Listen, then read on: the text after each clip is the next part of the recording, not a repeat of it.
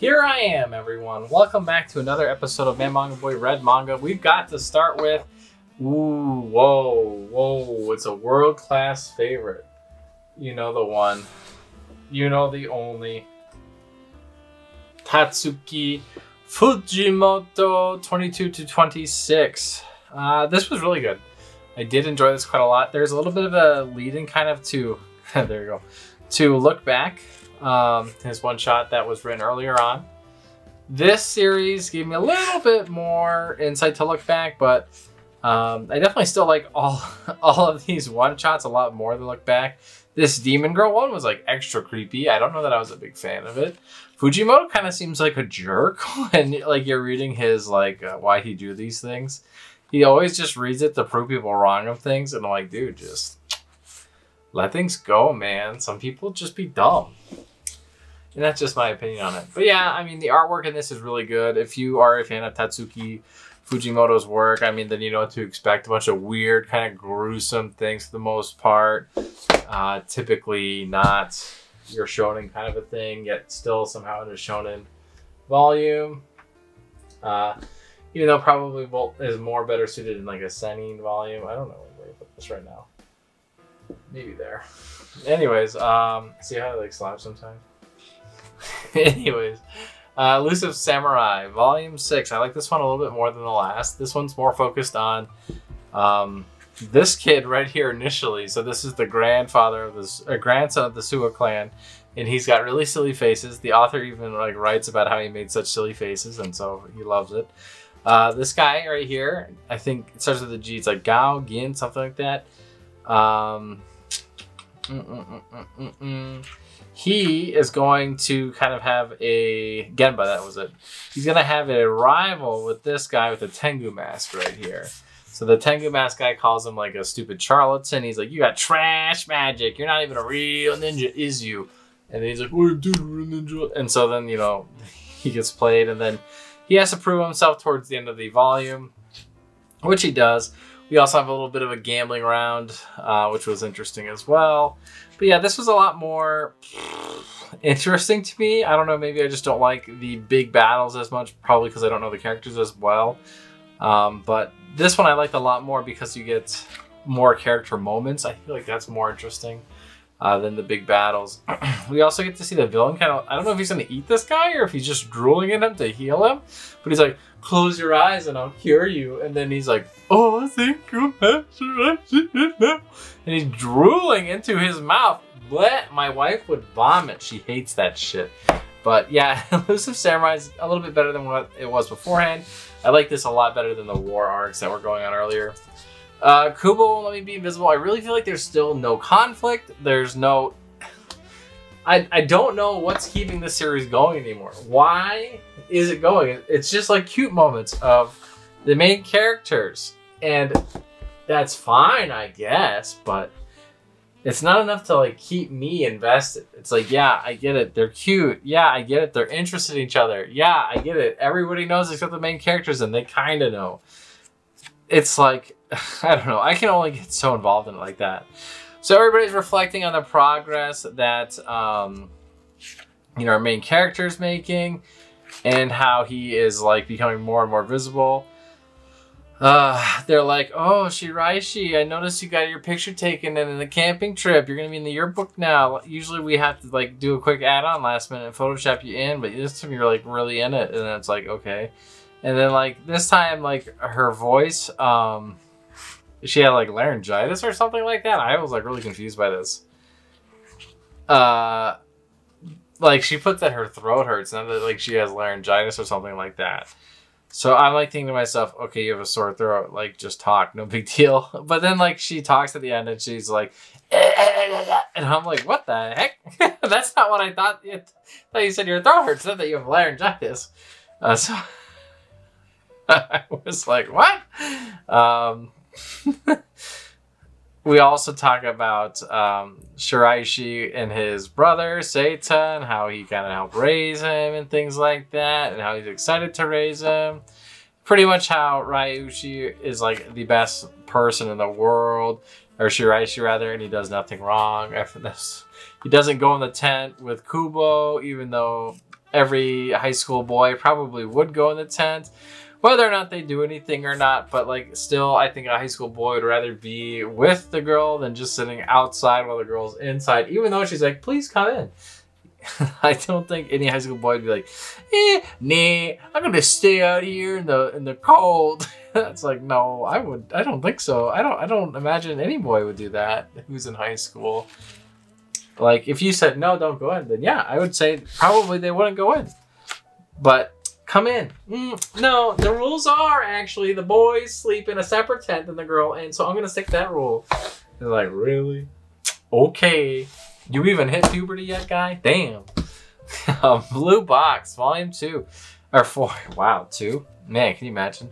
So Blue Box is really cool. Right now, we're having a little bit of a love triangle. This is what I'm talking about right now, okay? Blue Box, you see these two right here? It's like, yep, this is the one. If you guys are going to get one Rom-Com Shonen Jump, I know Kubo Won't Let Me Invisible looks super cutesy, and it really is, but like, really just please get Blue Box. It is so much better.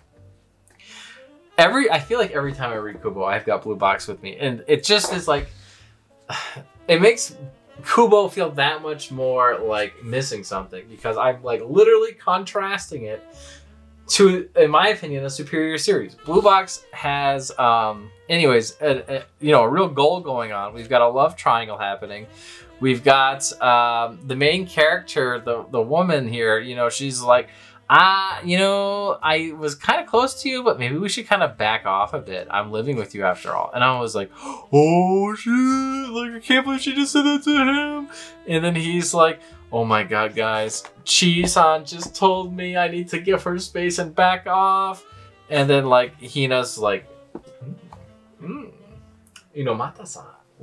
How you doing today? And I'm like, oh shit, the love triangle. So I'm like in it for that. And like, honestly, right now, I think Hina, Hina should be getting it right now. Cause like, uh, Hina is, is a lot nicer to our main character um, than she is. That's for darn sure. Uh, and you know he's progressing his badminton. She's playing her vol. Uh, she's playing her basketball. We're really not so interested in the sports, believe it or not. I didn't. I would not have believed that. Uh, you know, if you told me that when I first started reading this, but we are really more interested in this festival that's happening here. Okay, we got the yukata. I don't. I don't know the difference. They said they show you the difference between the yukata and the kimono at one point. I don't remember if it's this manga or if it was summertime rendering, but there's a little thing that tells you the difference. I don't remember what the difference was anymore, but it was pretty exciting uh, for the fireworks uh, for summer. And I was like thinking that he was gonna go Chi last minute, but like he ends up going with Hina, and then he finds Chi last minute. But Chi is like, man, like what are you wearing, girl? Shit. And so that was like kind of surprising to me. It's like, damn, I can't believe you would just be wearing like street clothes, gym clothes. Uh, it's the fireworks. I feel like that's part of the fun is dressing up. But uh, yeah, she just wears street clothes. And she really doesn't seem very interested in our main character. Initially, um, she did seem somewhat interested in him and admired his like um, effort and things like that. But now she seems kind of I don't know, distant in my opinion. I, it's hard for me to understand where she's going with this. One of the, the characters who's like her childhood friend, who's a little bit older, mentioned that this is like a thing that she does. Uh, I believe it was, I believe it was Kengo. Um, yeah, good friends with Chi. Uh, he um, was like saying like she doesn't really get close to guys that much or really people, so like be careful of these kinds of things. Like, don't misinterpret that she's getting close to. She really doesn't like let people touch her, and she doesn't really touch people, and like she touches him here. And I was like thinking, like, ooh, sealing the deal right now. We're moving our relationship up. No. So that was like, woof, you tricking me. So you know that's how you tug at a man's heartstrings right there. Is you you lead him on, you know, in the story, and so I'm pretty interested in where that's going like I was saying, less interested um, with Kubo because I feel like I know where it's going. I feel like it's not going to be any surprise. Blue Box, I'm like, oh shit, he might end up with Hina actually, maybe not Chi. I don't know. Uh, so yeah, that's that's where I'm more intrigued. Uh, Astro Boy omnibuses three and four. So Astro Boy omnibuses are big, thick guys right here, and they are covered in dialogue. They, if you guys thought that you could have a light novel in a manga in one and it just was not going to happen, you're wrong. You could have it. It's all over Astro Boy. There's just text on text on everywhere there's text, okay? That's not great. Anyways, we finish uh, Once Upon a Time with Gone with the Snow in Volume Omnibus 3. Gone with the Snow actually shows um, our uh, little, I think her name was like Scarlet or something like that. She's the little grasshopper locust girl. She's out of here.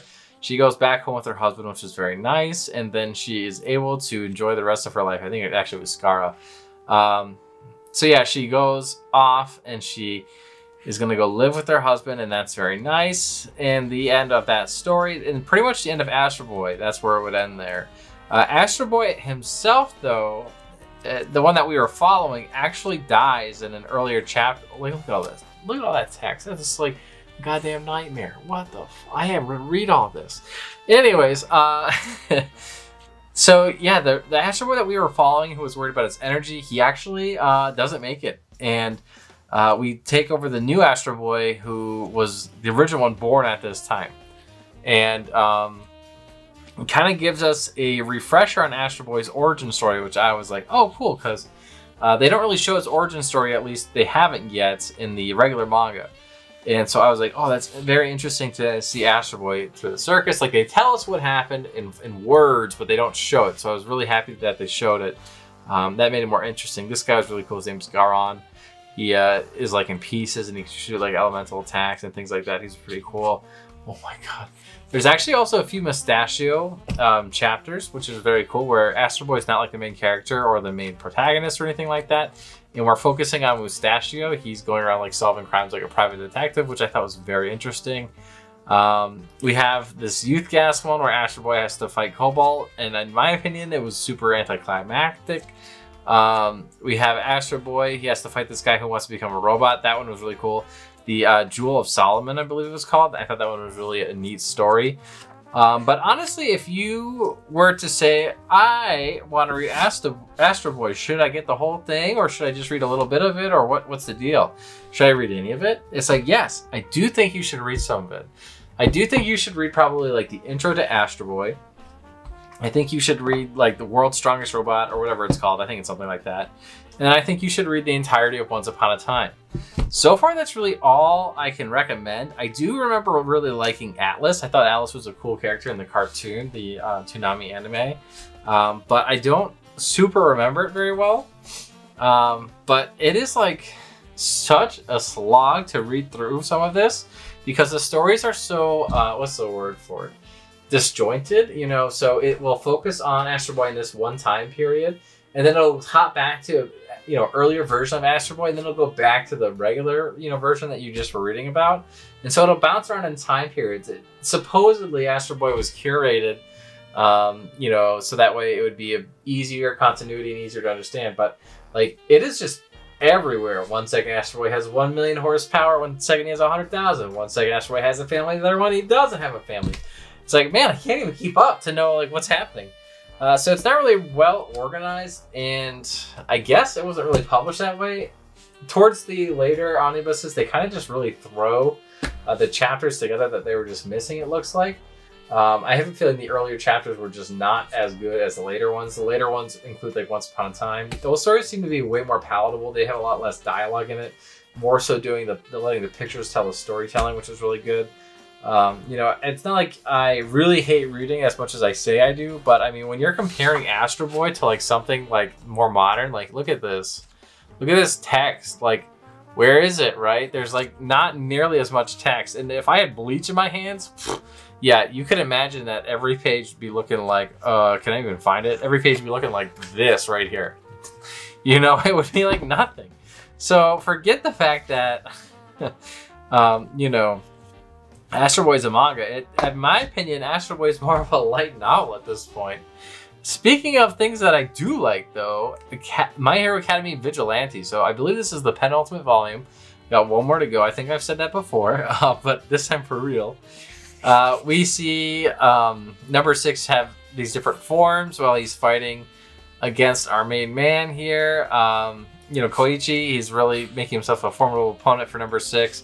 You see Knuckle Duster show up hell fucking yes, hell, hell Knuckle Duster shows up to fight him. You know, of course, originally number six was modeling over, um, was modeling uh, against the hero O'Clock. So he wanted to be like O'Clock 2, and then he met, you know, Knuckle Duster, who turned out to be Overdrive O'Clock, which was really cool. Uh, so yeah, this has been a really great volume. There was ton of action in this volume, of course. We got like a pure energy form here of number six, which is also really insane. Koichi got his ass handed to him. There's all for one just watching the fight go on and like, you know, just fucking plotting. And I'm like, holy shit, like this is so cool. So I was really enjoying it. And like you can see he's got like a skeleton kind of a thing going on here. Because he's he's the idea is that he's pure energy and he's burning away his body to like be in this form. And so you can kind of see his rib cage, backbone, skull, that kind of thing right there. And obviously you can see it in different like shots, you know, the bone structure as well. So this is like a really cool design. I thought that, that they did a really good job with that. Uh, and you can see Koichi just giving it his all and like slowly evolving his his quirk and abilities as you know every moment goes on. I really think it's a huge bummer that Koichi is not in the main series. I, please tell me he shows up at some point, even like as a cameo. The guy is so cool. They, I, I, the, that should be the main series, in my opinion. Like, oh, Vigilantes is so good. Every criticism I feel like I have towards my hero is fixed in Vigilantes. Oh, the school's too boring. There's too many characters. It's overwhelming. No school. Actually, that's a different issue in this series. He has school, but he doesn't go to it. Uh, the characters are super manageable. There's they introduce them like very slowly, like maybe like three, and then four, and then two. You know, they add a little bit more at a time, then they take some out depending on the story. Um, and then also they have like connections to like the pro heroes. The pro heroes make little cameos. Not every pro hero is in it because not every pro hero should be involved in it. Uh, you know, it's it's a story still involving All for One, but you know, in like the drug trigger and things like that. Uh, so it's like I don't know. It's just it's so good. I wish I wish everybody was reading it, and I wish it had its own anime. I don't understand how this does not have an anime and the main series does. I don't understand how the main series is so popular um, that that it has as many volumes and as big of sales as it does. Meanwhile, Vigilantes, I feel like not enough people are reading. It's probably one of the most talked about spin-offs, but like that's a low bar. That's a real low. Okay, this is the bar for sequels. This is spin-offs. Okay, even sequels, people are like talking about Boruto more than they talk about Vigilantes, and it's like all the people who talk about Boruto how bad it is. Same thing with Super. People like to shit on Super for whatever reason too, but Super's really good as well, and Boruto's been getting good too. Um, but like Vigilantes is consistently really good. I'd have to say it's like a complete, complete um, wasted potential. Like I don't understand how people are missing it. Hidden gem, maybe is what I'm trying to say. Anyways, if you're not reading Vigilante, the rant is that you should probably be reading Vigilante. Even if you don't like My Hero, it, it really is so much better than My Hero. Uh, oh my god, speaking of things so much better than My Hero, Dark Gathering, holy shit, this this series was pretty dark and twisted. dark Gathering is right. So, okay, here's the premise, all right? This guy um, has this hand, okay? This hand is like got all these nerves that grow out of it and he was possessed. And so he wears a glove over it so he doesn't like hurt himself and he has to get it trimmed every once in a while. Anyways, he's always drawn to these like haunted like spots. Every time he gets to these super, supernatural encounters, you know, Ghost comes and tries to eat him because he's like looking like tasty bait you know, like, mm, look at that booty. You know, the, boot, the ghost is like, eat that shit up. And so they try to, okay, right? And so he meets this girl because he's he's tutoring, and like people are trying to tell him that he needs to get out there more, be more social, and so he takes a tutoring job to kind of help him with that. Um, and so this girl's like not actually interested at all in tutoring. She has these little skulls for, they, for eyes. They say it's a birth defect. Anyways, so he's got to tutor this girl. This girl is huge into the supernatural. She's trying to catch the ghost that killed her mom's, uh, but not really killed her mom or her parents, but the ghost presumably killed them both and then kidnapped their mom's soul. So she's like, yeah, my mom's dead, whatever. But I can see my dad's soul. Where's my mom's soul? Like, it's nowhere to be found. So she's trying to find it. But this manga is super creepy. Look at this phone booth thing. They do this cool thing where you have to turn the book to the side. I haven't seen that in like freaking forever. That's a such a sick effect. Um, more balls need to do that. They have a lot of just like, uh, what's the word for it? Really grotesque um, imagery and just descriptions. Um, this series is pretty dark. The girl who is like a the exorcist? Look she tears she brings these uh spirits that she captures into these dolls these stuffed animals and then she brings the stuffed animals into her room. Her room is covered with stuffed animals. And the stuffed animals tear apart and just torture the ghost that she just like exorcised so that way she can add it to her army. She uses all the ghosts that she beats to help her when she finds the ghost that kidnapped her mom. And once she finds that ghost she's going to unleash literal hell on the ghost just to save her mom. And I was like, what the heck is going on? But yeah, you can see like this phone booth, straight up blood, explosion everywhere, all over the phone booth because it's it's haunted and it's killing people. Uh, so yeah, they got some pretty disturbing imagery here. Um, I really do like the series. The main character is very reluctant to help this main girl because wouldn't you know it, he thinks she's fucking crazy and she needs help. And like, forget the fact that she's interested in exercising spirits. She is like willing to kill herself and others to to get to this goal. Um, even though she's like 11 or 12, something like that, you know. And so he's like, no, you're messed up. You need therapy. Like, this is not right. And he's like, listen, you have to know that this is not right because she's got like this caretaker who's his like uh, childhood friend. He's like, this is like not right. This girl should not be this way. And she's like, I really feel indebted to this girl. I really just want to help her out. And she's trying to help you out too and help you get your curse lift. Apparently, there's a hint that his nerve hand is like actually like helping ward off demons, but I don't really know. Uh, but like, yeah, that's kind of the main concept to that series. I really enjoy it uh, quite a lot so far. Uh, definitely recommend checking that one out too. One of the newer Shonen Jump series. I definitely think it's it's worth reading. I'm not sure if it got canceled because most of the good ones do get canceled, I feel like. But that's what I read. The typical, uh, you know, 12 slash 13, because sometimes um, Astro Boy counts as 3, sometimes it counts as 4. I guess it just depends on how the wind blows. Anyways, thank you so much for watching. Please let me know what you thought about the reading log today down below if you guys enjoyed it, if you guys didn't enjoy it. If you guys just like really have this manga you're burning for me to read and have my opinion on, let me know and I'll be sure to go to look. Until next time, bye bye.